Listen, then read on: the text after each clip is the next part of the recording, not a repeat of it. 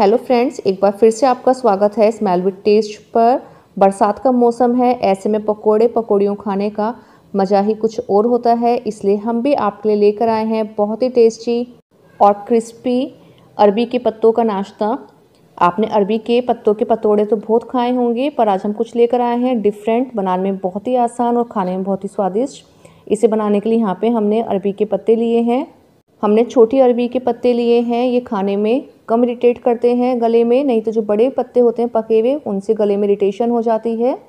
और यहाँ पे हम सबसे पहले ले रहे हैं एक बाउल में चार चम्मच चावल, नॉर्मल जो हमारे घर की खाने वाली चम्मच होती है, उससे मैंने चार चम्मच यहाँ पे चावल लिए हैं। चार चम्मच यहाँ पे मैंने चने की दाल ली है और दो चम्मच ली है हमने उड़द की दाल, धुली उड़द और इन्हें सबको वॉश करके हम भिगो के रख देंगे करीब आधे घंटे के लिए। और जितने भी हमारे अरबी के पत्ते थे, उन्हें हमने अच्छे से वॉश कर लिया है और इस तरह से उनका हम पीछे का जो मोटा डंठल है, उसे हटा देंगे। नाइफ़ की हेल्प से या सीज़र की हेल्प से आपको सभी पत्तों के डंठल को क्लीन कर देना है।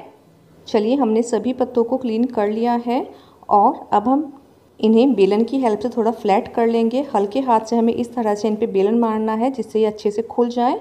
और आसानी से हम हमारा नाश्ता तैयार कर सकें। चलिए, दूसरी तरफ़ हमने दाल जो फूलने के लिए रखी थी, वो हमारी फूल गई है। उसे हमने ब्लेंडर जार में डाल के एक स्मूथ पेस्ट बना लिया है। और अब यहाँ पे हम डाल रहे हैं एक आलू, एक मीडियम साइज़ का आलू मैंने यहाँ चॉप करके डाला है, एक हरी मिर्च चॉप करके डाली है और दो चम्मच यहाँ पे हमने डाले हैं धनिया पत्ता, उन्हें हमने रफली चॉप कर लिया है और यहाँ पे हमने दो चम्मच भर के लिया है नींबू का रस। और अब हम इन्हें सबको मिला के एक स्मूथ पेस्ट तैयार कर लेंगे और हम इसे निकालने वाले हैं एक मिक्सिंग बाउल में।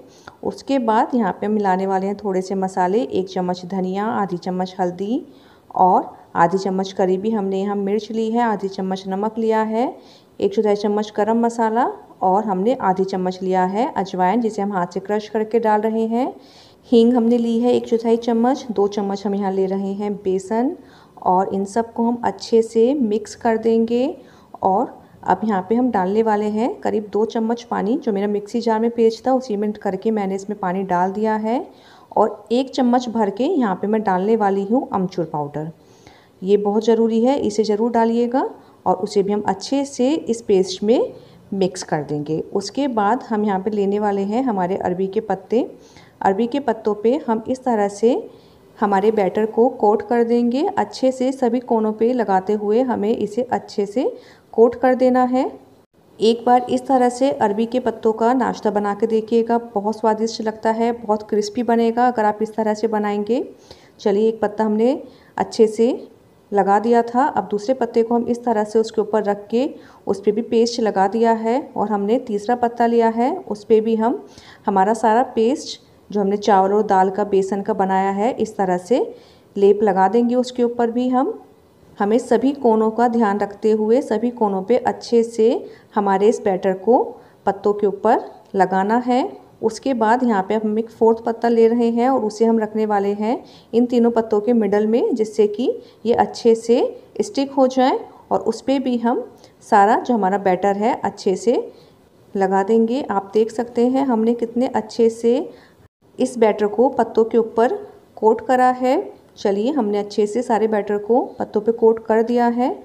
अब हम इसे करने वाले हैं फोल्ड। हमें इसका एक रोल बनाना है। उसके लिए हम इस तरह से पहले साइड्स में से इसे बंद करेंगे और उस पर भी एक बार इसे बैटर को लगा देंगे और दूसरी साइड पे भी हम इस तरह से रोल करके बैटर को लगा देंगे। अब हमें नीचे की तरफ़ से इसे बंद करना है और उस पर भी हम एक बार हमारे इस बैटर को लगा देंगे जिससे कि अच्छे से स्टिक हो रहे ये। कुछ इस तरह से हमने हमारे इस बैटर को लगा दिया है। अरबी के पतोड़े खाना बहुत लोगों को पसंद होता है। एक बार इस रेसिपी को भी ट्राई करिएगा। ये नाश्ता भी बहुत टेस्टी लगेगा। दाल चावल से मिक्स होके बना है। बहुत क्रिस्पी और बहुत ही टेस्टी चलिए हमने हमारे इस बैटर को लगा दिया है। नीचे की तरफ़ भी अब इसे टाइट से लेते हुए हमें रोल करना है। और रोल करने के बाद एक बार इसे प्लेटफॉर्म पे इस तरह से रोल कर लीजिएगा, जिससे कि ये खुले ना। और उसके बाद अब हम इसे करने वाले हैं कट और हम नाइफ़ की हेल्प से इसके इस तरह से रोल्स कट कर लेंगे। और उसके बाद इन्हें एक प्रॉपर और अच्छी शेप देने के लिए हम फिंगर की हेल्प से इसे नीचे की तरफ़ प्रेस करेंगे।